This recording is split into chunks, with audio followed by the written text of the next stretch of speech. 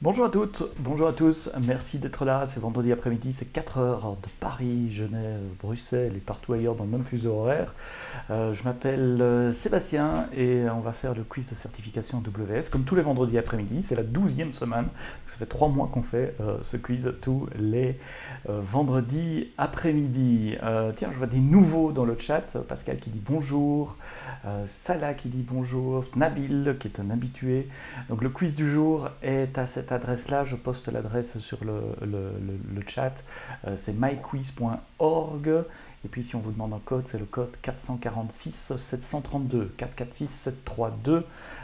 et en principe, vous allez le voir à mon écran euh, ici. Donc vous devriez tomber sur euh, un écran de compte à rebours qui est à zéro d'ailleurs, parce que normalement ça devait commencer à 4 heures. Alors si c'est la première fois que vous assistez à un quiz, ben, d'abord merci d'être là.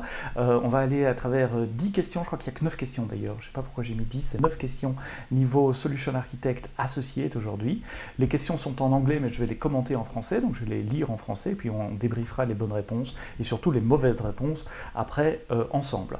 Ce ne sont pas des vraies questions extraites de la, la banque de questions de certification, je ne pourrais pas le faire, mais ce sont des questions similaires de complexité euh, similaire, qui parlent de sujets similaires, de, formulations euh, euh, similaires aux, vraies questions de certification. Je vous laisse encore un tout petit peu de temps, je fais ce blabla pour laisser tout le monde le temps de se connecter au quiz. il y a 10 personnes connectées maintenant, donc 446 732. encore deux choses, soit vous regardez sans jouer, pouvez évidemment essayer de répondre, c'est quand même plus amusant si vous pouvez répondre, ça permet d'évaluer vos connaissances sur AWS.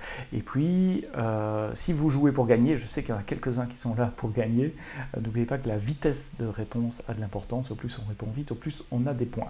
Mais le but, c'est pas de gagner, c'est de participer, comme disait l'autre, c'est surtout d'apprendre, euh, et on va faire ça en une demi-heure environ. Euh, cet après-midi. Donc merci à tous ceux qui sont là. Si vous avez des questions, si vous n'êtes pas d'accord, si je dis une bêtise, dites-le moi dans le, chat. Euh, il y a une ou deux questions un peu plus délicates aujourd'hui, comme, comme, comme d'habitude, comme toutes les semaines. Et euh, j'essaierai de prendre le temps de, d'expliquer, d'expliquer les réponses. Donc le quiz est sur blablabla, myquiz.org. Et puis le, le code pour aujourd'hui, c'est 446 732. J'ai encore attendre une minute que tout le monde ait le temps de se connecter. Euh, attention si vous jouez sur un portable, un, smartphone ou une tablette, on m'a dit que simplement scroller parfois dans les questions, ça déclenchait le, clac et donc c'est le, le, tap est, comptabilisé et donc la première, euh, la première réponse est, prise en compte. Donc faites attention si vous êtes sur un smartphone en même temps, le smartphone est probablement le meilleur moyen de gagner si vous jouez pour des points, parce que ça permet de, réagir très rapidement. Bon, 15 personnes, c'est à peu près comme, comme d'habitude, je crois qu'on peut y aller. Hein. On va faire un start game, 9 euh, questions donc, niveau Solution Architect euh, Associate. Attention, première question, dans 3 secondes. C'est une question qui porte sur Amazon VPC. Euh, quelle est l'affirmation ci-dessous qui est correcte sur les security groups? Toutes les instances dans le même security group peuvent communiquer entre elles. C'est la réponse A. Réponse B, les security groups autorisent toujours tout le trafic euh, sortant, toujours. Euh, C, les, instances Amazon EC2 ne peuvent n'avoir qu'un seul security group. Et réponse D, les security groups sont associés avec des Elastic Network Interface. Elle est un peu tricky cette question hein, dans, la formulation. Euh, j'avoue que j'ai dû réfléchir à deux fois avant de regarder quelle était la, bonne réponse. Euh, parce que. Enfin, ouais, je vous dirai pourquoi après. Euh, mais ouais, ça joue à un mot tout le temps. Hein. Ça se joue très souvent à un mot, ce genre de, de questions il y a le petit mot qui fait que, c'est bon ou que c'est pas bon. J'ai oublié de dire 90 secondes, une minute et demie de temps de réflexion, et là je crois qu'il n'en fallait pas autant. Euh, la question est assez courte à lire et à répondre. Vous êtes 15 à avoir euh, répondu. On est combien sur le stream? On est moins, on est plus sur le jeu que sur le stream. C'est bizarre ça. Soit j'ai pas les bonnes datas de stream, soit soit il y a des gens qui viennent juste pour le jeu, et qui n'écoutent pas nécessairement les bonnes euh, réponses. 16, il reste 10 secondes. Attention. Alors, il reste 3 secondes. La bonne réponse est la réponse euh, D. les security groups sont attachés à des Elastic Network Interface. Et vous n'êtes que 6%, donc probablement qu'une seule personne, Florian, qui a, qui a répondu euh, correctement. Alors pourquoi les autres sont mauvaises? Je vais me faire tuer dans le chat. je vais d'abord faire pause pour avoir le temps, euh, temps d'expliquer ça. Euh, les instances qui sont dans le même security group peuvent communiquer avec les, les, les unes aux autres Non il faut quand même que le port soit ouvert. Si le port n'est pas ouvert, une instance, même deux instances, même si elles sont dans le même security group, si euh, le port, je ne sais pas, 80, 80 80 n'est pas ouvert, elles ne peuvent pas se parler, à moins que j'ai loupé quelque chose. Euh, euh, récent, qui, est un truc qui m'échappe. Si vous n'êtes pas d'accord avec moi, allez-y dans le chat. le deuxième n'est pas bon non plus parce qu'il y a ce petit mot always. Les security groups permettent toujours le, trafic sortant et non. Euh, dans les security groups, on peut bloquer du, trafic sortant. Donc par défaut, ils supportent tout le, trafic sortant, mais, pas always. Et, c'est pour ça que je trouvais la question un peu dure. Euh, euh, C n'est pas bon.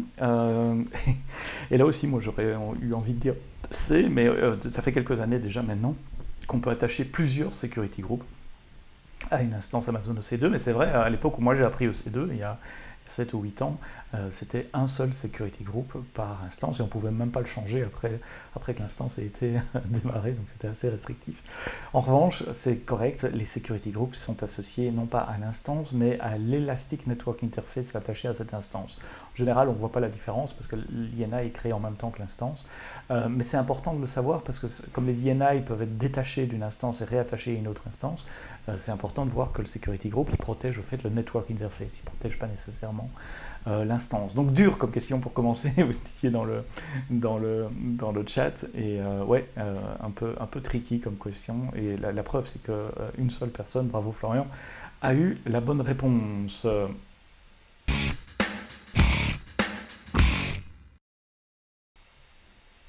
Alors, Amazon S3, vous avez plusieurs gigabytes de données que vous avez besoin d'uploader sur Amazon S3.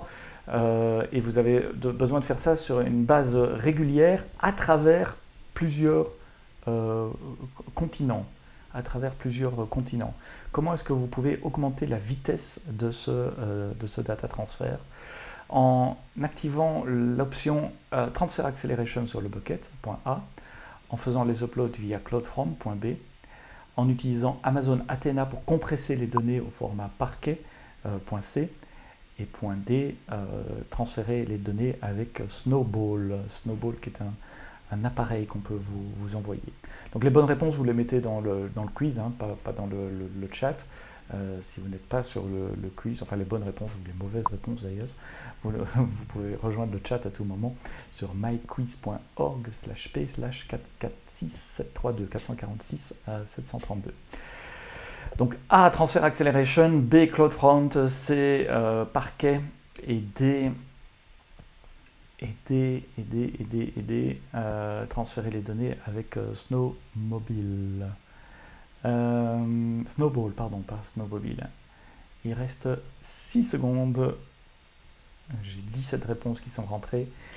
Et la bonne réponse, c'est la réponse A, Transfer Acceleration sur le bucket. Et vous êtes waouh, un bon 82% à avoir euh, bien répondu. Euh, alors c'est aussi une question piège parce qu'il y, a CloudFront en réponse B. Euh, et au fait, c'est ce que fait Transfer Acceleration. Quand on, active Transfer Acceleration sur un, bucket, le point d'entrée réseau pour accéder à ce bucket devient les edge locations de, CloudFront. Mais ça se règle au niveau S3. Il ne faut pas créer une requête sur sur CloudFront pour faire ça, il ne faut pas créer une distribution CloudFront pour faire ça. Mais quand vous activez Transfer Acceleration, au fait, le endpoint de votre bucket devient la edge location la plus proche de vos utilisateurs. donc les utilisateurs vont uploader avec un, site edge qui est proche de chez eux. Euh, moi je suis à Paris pour le moment, donc ça sera une des edge locations de Paris, même si mon bucket il est en, Australie. Et une fois que le trafic est rentré sur, edge euh, sur la edge location, il est euh, acheminé au bucket via le réseau AWS, qui est un réseau entièrement managé à très faible latence, à grande bande passante, et en général plus prévisible, plus stable que l'Internet public. Et donc c'est pour ça que ça s'appelle Transfer Acceleration. Les transferts vont plus vite quand on passe dans Transfer Acceleration plutôt que passer par, par le bucket directement. Donc euh, CloudFront n'est pas nécessaire, euh, il n'y a pas besoin de payer les, coûts CloudFront. En revanche, il y a évidemment une surcharge pour, euh, pour activer Transfer Acceleration. Personne n'a répondu à Tena, ça, ça me fait plaisir. Et puis Snowball, ouais, Snowball c'est un device qu'on vous envoie par la poste, une grosse boîte qui est prévue pour pouvoir tomber, qui est résistante au choc, à la poussière, à l'humidité, etc. On a fait des essais, il y a des vidéos que vous trouverez sur internet où on largue, des snowballs par parachute qui tombent dans de l'eau, etc. Et tout ça, ça fonctionne encore après. Ça, respecte des, standards de l'armée américaine en matière de, de résistance. Et euh, l'idée des snowballs, c'est d'amener cet appareil près de chez vous, vous le chargez avec les données euh, sur votre réseau local et puis vous le renvoyez par la poste ou par FedEx ou autre UPS euh, chez, chez, nous. Et donc, en termes de, bande passante, c'est énorme parce que vous pouvez mettre des, pétabytes de données. Pas les, chiffres en tête pour Snowball, mais vous pouvez mettre énormément de données. En revanche, la latence n'est pas très bonne parce qu'il faut le temps qu'on vous l'envoie, que vous le chargiez et que vous le, remontiez. Et donc ici, c'était euh, la question, c'était highest possible speed. Alors, je sais que speed est, un peu euh, imprécis. Est-ce qu'on parlait de latence? Est-ce qu'on parlait de bande passante? Prenons speed comme étant le temps total de transfert et le temps total de transfert en général, ça sera Transfer Acceleration, à moins que vous ayez vraiment des très très très gros volumes qui ne puissent pas passer par Internet dans des temps raisonnables. Et là, effectivement, Snowball est une, une bonne option. Donc, c'était pas idiot de répondre à Snowball. Euh, mais voilà, c'était pas la bonne, euh, la bonne réponse euh, non plus. Il reste 4 secondes jusqu'à la question suivante. Et la question suivante porte sur la sécurité. Vous souhaitez créer des environnements séparés, euh, développement et production, pour votre application qui tourne sur Amazon EC2, comment est-ce que vous pouvez vous assurer que les instances de développement ne peuvent pas interagir avec les instances EC2 de production? Réponse A, vous utilisez des tags pour identifier les instances de développement et de production. Réponse B, vous utilisez des subnets séparés pour le développement et la production. Réponse C, vous utilisez des VPC séparés pour le développement et la production.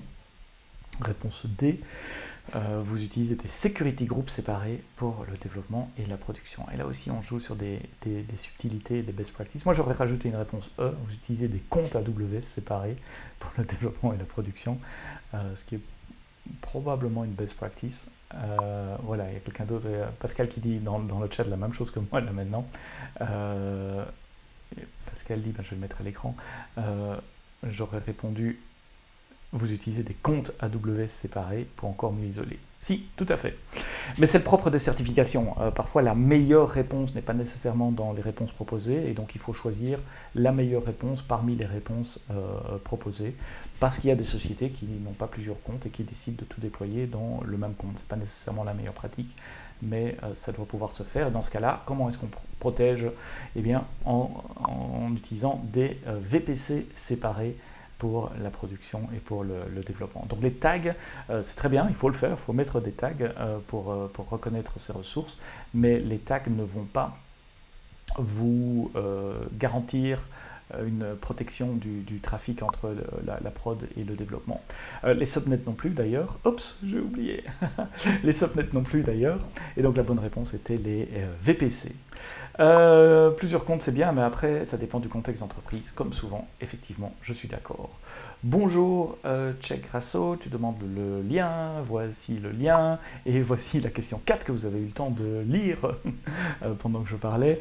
Euh, sur Amazon EC2 Autoscaling, qu'est-ce qui arrive quand une instance dans un autoscaling group ne passe pas les health checks et que le health checks type est marqué ELB.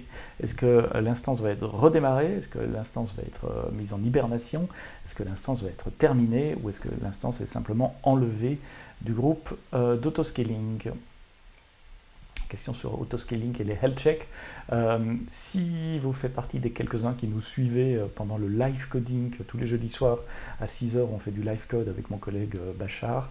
Ben, hier, on parlait justement des autoscaling groups et on a parlé du health checks avec le health check qui peut être EC2 ou ELB et comment fonctionnent les, les groupes d'autoscaling. Donc n'hésitez pas à aller revoir cet épisode, il est sur ma chaîne YouTube youtube.com slash sebsto S-E-B-S-T-O.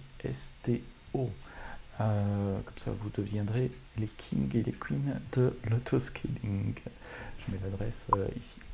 Il reste 20 secondes, 25 secondes pour répondre. Je crois que tout le monde a répondu, hein. on, a, on, a, 17, 18 maintenant réponses. Et vous êtes 21 connectés sur le stream, donc ça, ça match cette fois. Il reste 7 secondes pour répondre. 6, 5, 4, 3, 2, 1. La bonne réponse est la réponse C. L'instance est euh, terminée. Donc, euh, autoscaling ne reboot pas euh, les instances par défaut, les hiberne pas par défaut. il me semble avoir vu passer une news récemment que autoscaling pouvait mettre les instances en pause. C'est ce qu'ils appellent cette hibernation. je crois que c'est possible, c'est assez récent pas encore été regardé, j'ai pas essayé euh, moi-même, mais donc le comportement, c'est effectivement que l'instance est terminée. Autoscaling n'enlève pas des instances d'un groupe d'autoscaling, euh, pas tout seul, alors on, peut le programmer pour éviter la terminaison, etc., en, écrivant du code et en allant interagir avec le cycle de vie des instances dans un groupe d'autoscaling. Euh, c'est plutôt le load balancer qui va faire ça. Si le load balancer détecte que l'instance ne répond plus au ping de health check, le load balancer va arrêter d'envoyer du trafic vers cette instance-là. Il ne va pas vraiment l'enlever du target group, elle sera toujours dans le target group, mais elle sera flaguée comme étant unhealthy, euh, pas saine, et donc l'instance ne recevra plus de, trafic. En fait, dans cette question, ce qui était piège, c'est qu'on mit health check type is ELB, parce qu'en en fait, ça change rien que ce soit health check type EC2 ou ELB. Dans les deux cas, autoscaling group va, terminer euh, l'instant. une question de pendant l'année gratuite, on peut lancer combien d'instances EC2, euh, s'il vous plaît euh, Pendant l'année gratuite, on peut lancer 750 heures par mois d'instances T2 micro. Alors 750 heures par mois, c'est une instance 24 sur 24, ou deux instances 12 heures par jour, ou 750 euh, instances pendant une heure pendant un mois. Donc il n'y a pas vraiment de, limite du nombre d'instances, la limite c'est sur le nombre d'heures, c'est 750 heures par mois, ce qui correspond à une instance qui tourne 24 sur 24 et 7 jours sur 7, et attention uniquement les instances T2 euh, micro. Attention, voici la question suivante.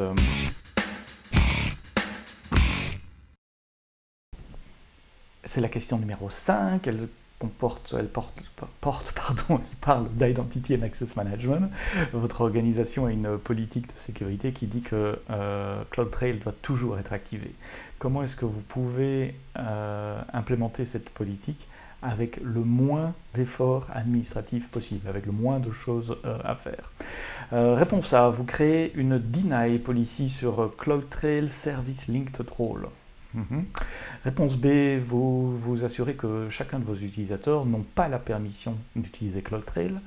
Réponse C, vous configurez AWS CloudTrail euh, Always On, Global Settings de CloudTrail, nous dit la réponse C.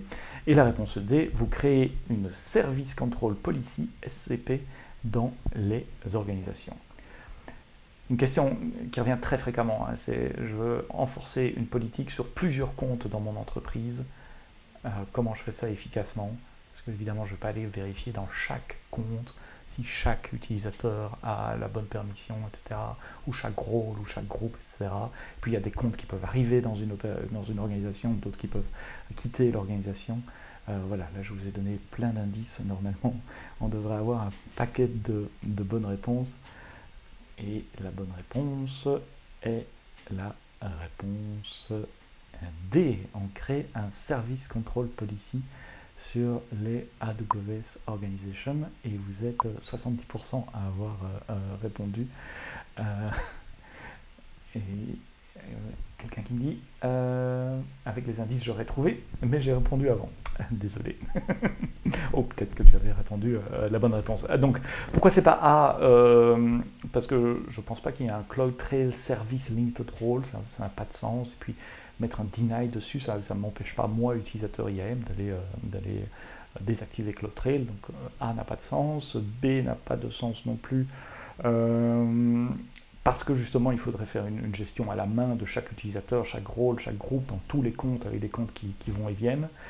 Euh, C n'a pas de sens ou est incorrect en tout cas parce que je crois que ça n'existe pas simplement. Il n'y a pas un always on dans euh, Cloud Global Settings. Enfin, je n'ai pas été voir dans la console, mais, ça ne me dit rien. Et la, bonne manière de faire, effectivement, c'est en général, on a une organisation, donc un compte maître qui gère plusieurs comptes, sous-comptes dans l'organisation. Et le compte maître peut dire tous les comptes de mon organisation, ils auront telle limite de permission. C'est ce qu'on appelle un service control policy. Et donc vous pourrez dire par exemple, euh, je, n'efface pas tel rôle ou je, ne, fais un deny sur le, le, disable de CloudTrail.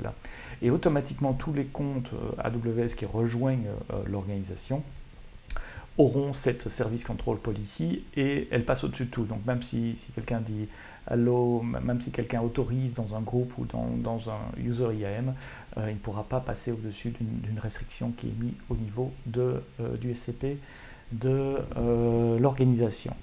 Donc réponse correcte de la D.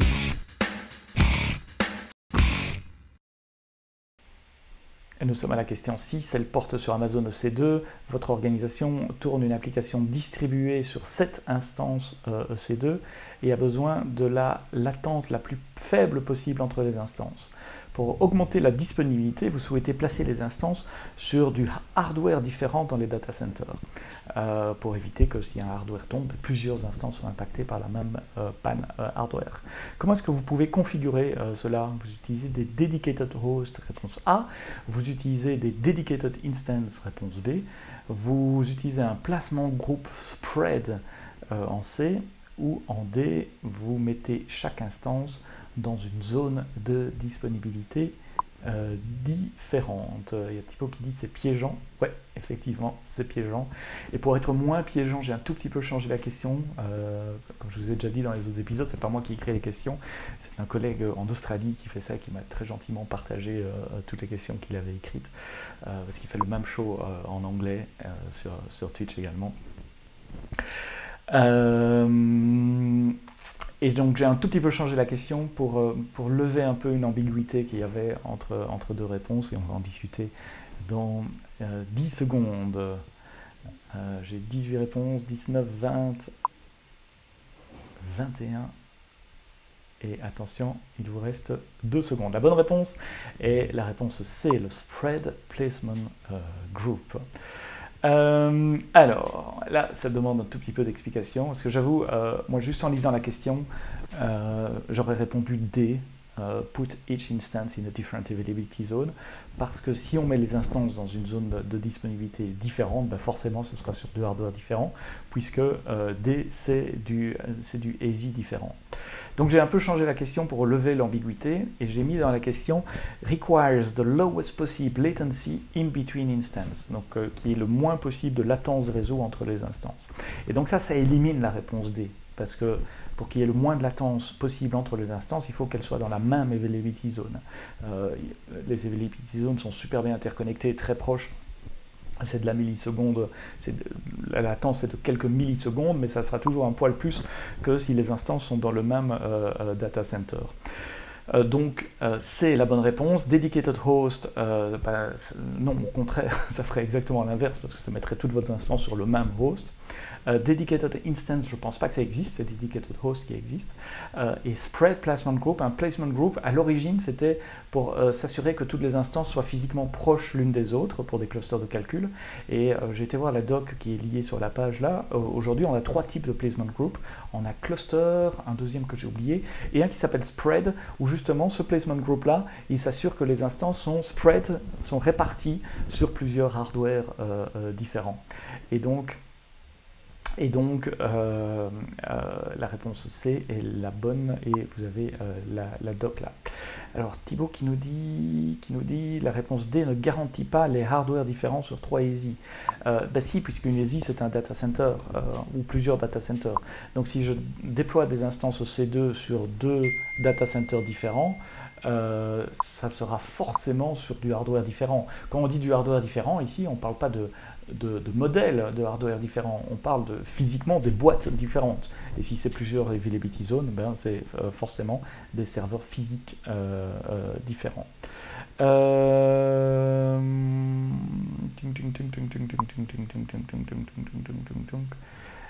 oui, mais il peut y avoir plusieurs instances sur le même serveur physique. Euh, oui, parce que c'est cette instance. Ok, euh, je vois où tu veux en venir. Au fait, au début de la question ici, on dit que l'application tourne sur cette instance. Et donc, même si je la distribue sur trois availability zones, j'ai aucune garantie qu'il euh, y ait deux instances dans une availability zone qui tournent sur le même hardware. correct. Et donc, ça aurait peut-être aussi éliminé la réponse D. C'est ce que nous rappelle RECA 78 aussi. tout à fait. Je suis d'accord avec vous. Donc peut-être que mon, changement de question n'était pas nécessaire. On aurait pu éliminer les, les euh, par cela parce qu'il y a ces sept instances qui m'avaient échappé quand j'avais euh, regardé la question euh, précédemment. Donc Très bonne remarque, très bonne discussion comme d'habitude. C'est pour ça que j'aime bien faire le quiz avec vous le vendredi. On, réfléchit toujours euh, un, peu, un peu plus loin que simplement lire une question. Et il nous reste que trois réponses, euh, trois questions, donc trois réponses aussi. Euh, un petit coup sur les leaders. On a Olivier à 32 points, Guillaume 27, Magnétique 26, Salah Edine à 25 et LG 7983 à 25 également. Il reste trois questions. Donc les, ouais, la première place tout peut encore se jouer entre, entre vous cinq. ouais, ouais, techniquement en tout cas.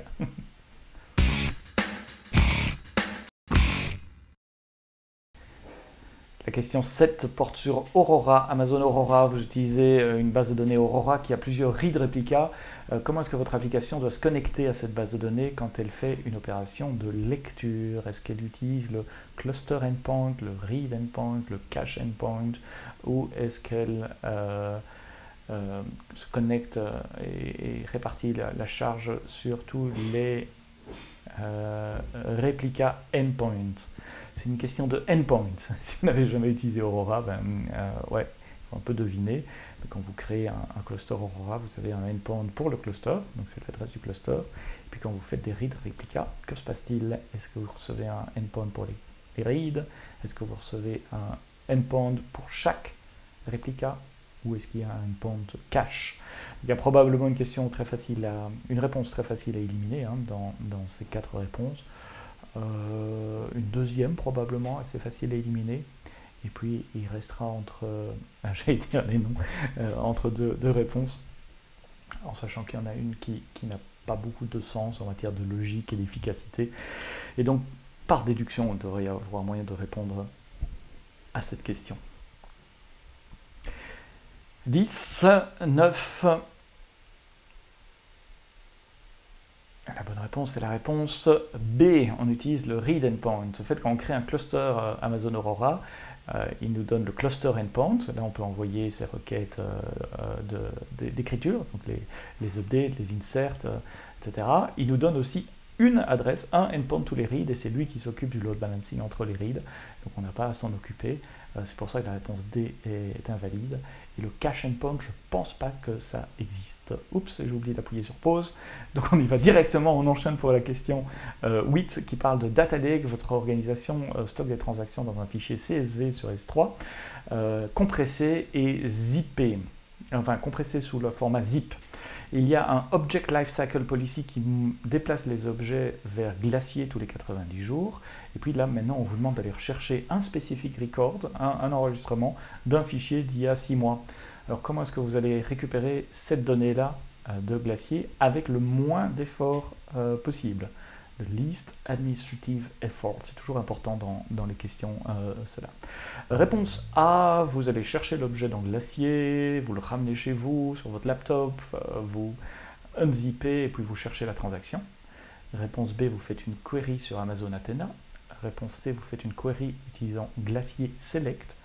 Et réponse D, vous démarrez un cluster Elastic Map Reduce, donc c'est Hadoop, Spark, pour aller chercher la bonne donnée. Le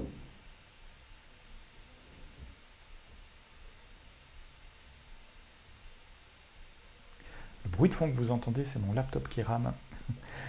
Pour les streams, ce sont les ventilateurs qui sont à fond. Et je ne savais pas que ça existait. Euh, moi non plus, je ne savais pas que ça existait. J'ai dû faire une recherche pour euh, valider euh, la question. Euh, en 90 secondes, vous avez le temps de tricher un peu et d'utiliser Google aussi pour chercher euh, les réponses. La bonne réponse est la réponse C. Vous utilisez Glacier Select. Glacier Select, c'est une fonction de Glacier qui permet d'aller exécuter des queries euh, SQL, donc des select, directement sur les objets Glacier sans aller nécessairement les rechercher et les sortir de là, ce qui vous donne un accès plus rapide aux données et à moindre coût, puisqu'il y a un coût normalement pour aller chercher les données dans, dans Glacier. naïvement, ne sachant pas que ça n'existait pas, que ça existe, moi j'aurais répondu A aussi, parce que la, vieille méthode, quoi, avant Glacier Select, c'est de dire ben, je download et puis je fais tout le travail en, local. Alors Athena n'est pas une réponse tout à fait stupide non plus. je ne sais pas qui a répondu ça, vous êtes au moins deux à avoir répondu ça. Mais j'ai vu que maintenant qu'il y avait une intégration entre Amazon Athena et Glacier Select. Alors, j'ai pas creusé, j'ai pas eu le temps cet après-midi. Mais est-ce que ça veut dire qu'on peut faire de l'Athena directement sur Glacier ou pas? C'est peut-être à, creuser. Euh, mais Glacier Select n'est pas nouveau. Euh, ça a été lancé en 2017. J'ai retrouvé le blog post. C'est mon collègue euh, Randall Hunt qui a écrit le, blog post pour annoncer cette, fonctionnalité. Et le lien est là en dessous, c'est S3 Glacier Select sur le blog de Jeff Barr, le blog AWS. évidemment, la réponse D était éliminée parce que c'est pas le moindre overhead administratif. Bien, donc on aura appris quelque chose euh, tous sur euh, Glacier Select. Olivier en tête à 37 points, LG 79, 83, 35, Magnétique 34, Guillaume 32.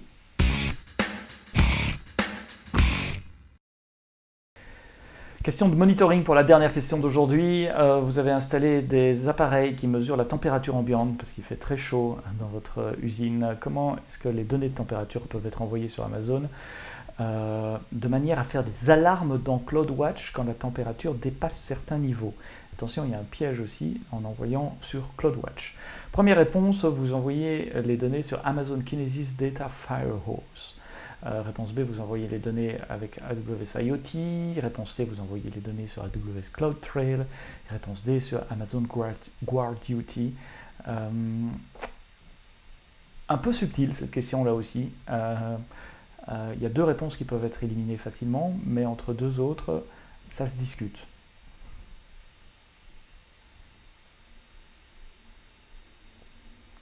Je vais vous expliquer pourquoi ça se discute.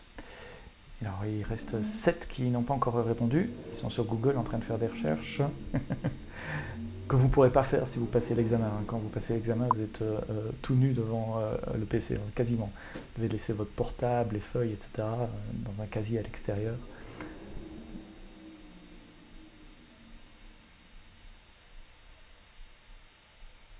bonne réponse est...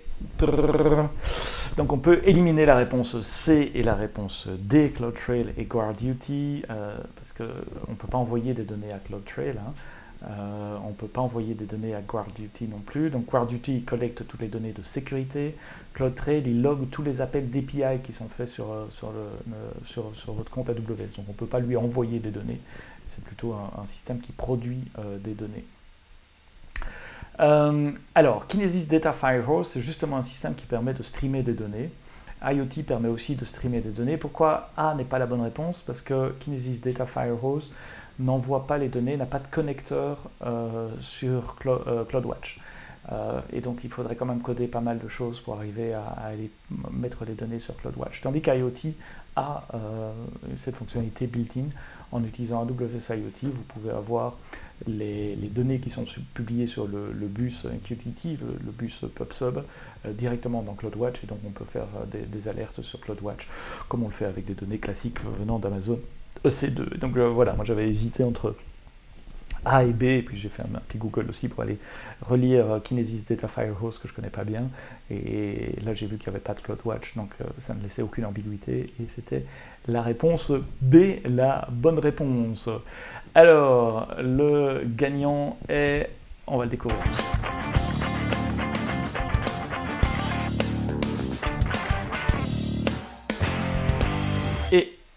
Et le gagnant est Olivier aujourd'hui, 42 points, Magnétique 40, LG 79, 79 83 40 également. Donc on a deux on a un ex à la deuxième place, du 59 troisième 37 et ex également avec Guillaume, ex également pour la, troisième place. Et puis ex pour la quatrième place également, euh, et pour la cinquième place également. Donc tout ça se tenait dans un mouchoir de poche aujourd'hui. Euh, est-ce que c'est possible avec Amazon Kinesis Data Stream? Euh, Bonne question. Euh, je sais pas. je vous laisse faire ça en devoir pour la semaine prochaine. Si vous revenez la semaine prochaine, vous me donnerez la réponse. Je chercherai de, mon côté également. Merci d'avoir assisté à ce quiz AWS en français comme tous les vendredis. On fait le dernier de la saison la semaine prochaine. Après, il y aura quelques semaines de, vacances un peu pour, pour tout le monde. Donc on se retrouve vendredi 16h la prochaine fois. Euh, d'ici là, ben, quoi que vous codiez, codez-le bien et passez un très très bon week-end. Bye bye.